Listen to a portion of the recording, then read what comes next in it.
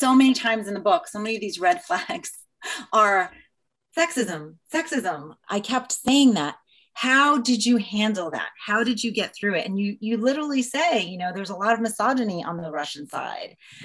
I'm not sure that that's changed now. And, and I think that, you know, there is increasingly cultural disconnect. And, and how do you deal with that cultural disconnect? I mean, you dealt with it beautifully um, with with much grace um, with humor um, as you know in the book but i couldn't help but circle the times that i thought my goodness you know you could tell what you were up against and it, you know in a room full um, of men who who didn't know your capabilities um, can you talk about that? Because I think that's really important to, you know, certainly the students that I teach, uh, female students, um, and we'd love to hear from such a strong leader. And, you know, Nick, you mentioned, you know, first um, female NATO um, Deputy Secretary General. So I, I do want to kind of shine a light on that.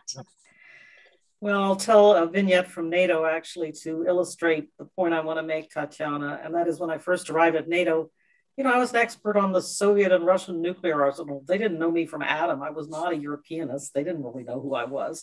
So I got to NATO, and one of the crusty older military leaders uh, on uh, the NATO international staff, the international uh, staff is the you know very senior people at headquarters, not the, the various missions of NATO members, but the, the international staff. And um, I could see the first day I came into a meeting and they were talking about the NATO nuclear mission, and I started talking about extended deterrence and you know the U.S. readiness and willingness and some of the history and and afterwards he didn't admit it right away, but in a couple of weeks he came up to me at a cocktail party and said, "Gee, for a woman, you know a lot about nuclear policy." And I've encountered that again and again and again. But that's what I, I advise younger younger women is you have to know your research agenda cold. You have to know the substantive, substantive issues cold. And if uh, nuclear ICBMs is your thing, you are going to have to know everything there is to know about nuclear ICBMs. And eventually, uh, you know, at least they at least they shut up. they may still think they'd rather have a man across the table, but there is a certain guarded respect, I would say, that develops over time.